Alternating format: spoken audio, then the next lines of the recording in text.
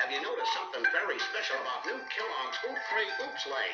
They ills me so delicious day. Yeah, and they smell good too. Smart kid.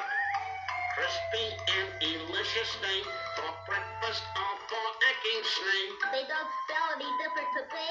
Why not? I have a cold.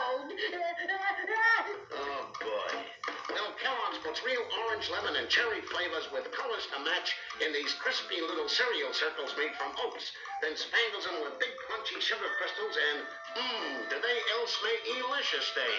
Try 'em. Sparkling with ogre shame. It'll be so delicious day. I have a terrible cold, you know. Oops, right, oops, right. Luckily, it hasn't affected my appetite.